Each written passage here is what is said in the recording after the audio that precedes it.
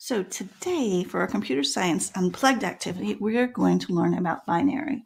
Binary is the language of computers. It's all they really understand ones and zeros, if you can believe it. And this is because computers run on electricity. And so, like a light bulb, when electricity is on, that's a one. When the light bulb is off, that's a zero. And I found this website recently that shared all this binary code. And I don't know about you, but I can't read this. So, how in the world do we communicate with computers when all they talk is ones and zeros? That's what we're going to explore today. So, let's see if we can figure out what this says. I'm just going to copy this code, and I found this binary translator. I'm going to convert it. Oh, do you recognize that date? That's right, that's April Fool's. So it seems like maybe this was an April Fool's joke. Let's read a little bit more.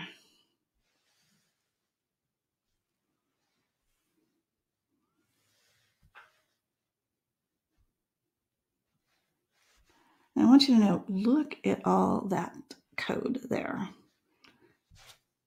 This is what it says. In this week's CSK8 podcast episode, I created a podcast episode for computers that's entirely in binary. So, isn't that fun? So, how is it that we can communicate? We can type on our keyboards, we can use our fingers on an iPad, we can record like I'm recording um, if computers really only speak ones and zeros. Well, it starts with numbers. So, computers understand we understand numbers, right? We understand 1, 2, 3, 4, 5, 6, 7, 8, 9, 10, and all that. Um, that's called the decimal system. It's called a base 10 system, where binary is a base 2 system. And so what we can do is convert the numbers that we understand in base 10 to the numbers computers can understand in base 2. And the way we do this is that in binary, this place is 1. Oops. There we go. The next is 2. The next is 4. The next is 8. I don't know if you no- noticed, but that's doubling every time, right? 1 plus 1 is 2. 2 plus 2 is 4. 4 plus 4 is 8. So we can take a number we know, like 15, and what we have to do is add these bottom numbers up so they'll equal 15. And it turns out uh, what I, the way I do it is I look at this first number and I see if, if it's less than or equal to the number we're looking for. So 8 is less than, so we're going to turn that on. Oh, that's not a very good 8. And then 4 plus 8, what does that equal? 12. So yes, we can turn that on. And 12 plus 2, 14. So yes, we can turn that on. And 14 plus 1, 15. Oh, there's our number. So 15 in binary is 1111. Um, I show another example here of 2. So 2, 8 is greater than 2, so we have to turn that off. 4 is greater than 2, so we have to turn that off. 2 equals 2. Oh, good, we can turn that on. And now that we've got 2, we know the next one is off. So that's why that is 2 in binary. Let's do one more example together. I'm going to skip down to 5. All right, 8 is greater than 5, so we're going to turn that off. 4 is less than 5, so we can turn that on. 4 plus 2, mm, that's 6. That's greater than 5. We're going to turn that off. 4 plus 1, oh, 5. So binary, 5 is 0, 1, 0, 1. So I've given you some other uh, things that you can try out here if you want to play around with the math. But what we want to do is create a binary bookmark that is based on letters. So here we go. We know that we can convert numbers to binary, but that still doesn't help us get words and things like that into a computer. So there was a group of people that decided they would define a letter and give it a number that we recognize. And then that number has a binary associate. So if I'm looking at the letter K, uh, they've associated with the number 75, and this is 75 in binary. You'll notice that there's uh, binary for lowercase letters and binary for uppercase letters. So what I want to do is I want to pick three letters. Um, for me, it probably makes sense to use my initials. So K for Kim, S for Sue, and W for Wilkens. So my um, numbers that I know are 75, 83, and 87.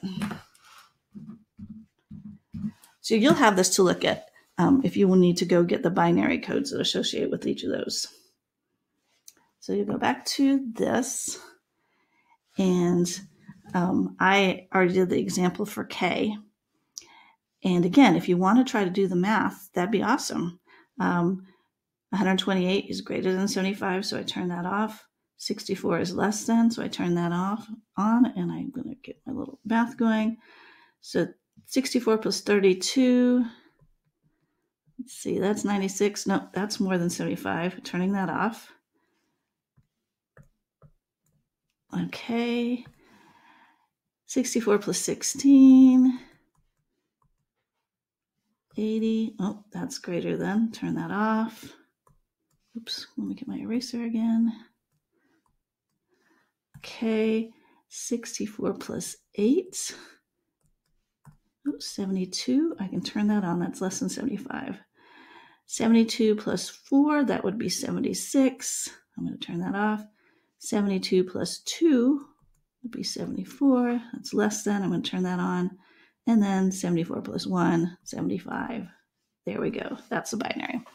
Again, if you want to try the math, that's great. If not, you can go to the um, ASCII conversion codes. So you're going to do that for your three letters here. Okay. And then you're going to pick a color to be your one.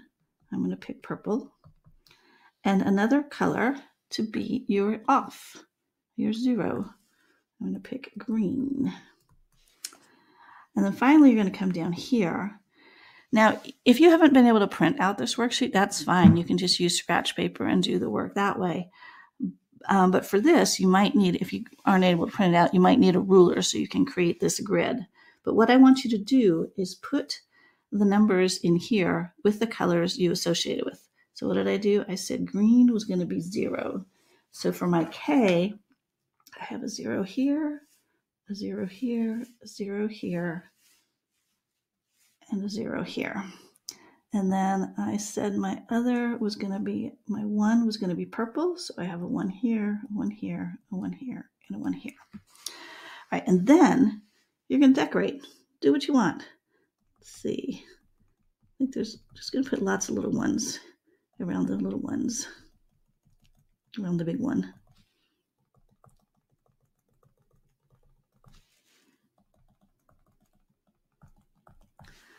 And then for my green, I think I'm just going to do a little faces.